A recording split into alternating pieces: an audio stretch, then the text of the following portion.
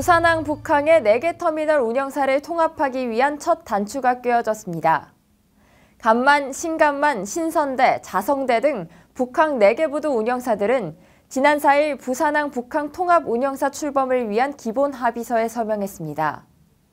부산 북항은 최근 5년간 신항으로의 물동량 이탈로 누적 적자가 1,591억 원에 달하는 등 운영에 어려움을 겪고 있습니다. 북항터미널 운영사는 재정난 타개와 경쟁력 제고를 위해 자율적으로 단계적 통합을 추진해왔습니다. 2013년 12월 간만부두 세계 운영사 통합에 이어 지난해 2월에는 신선대와 우한부두 운영사가 단일화됐습니다. 이번 4개 부두 통합에선 부산항만공사가 주주로 직접 참여해 눈길을 끌었습니다.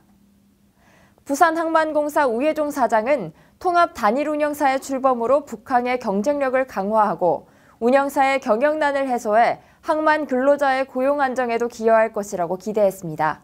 KSG 뉴스 이근아입니다.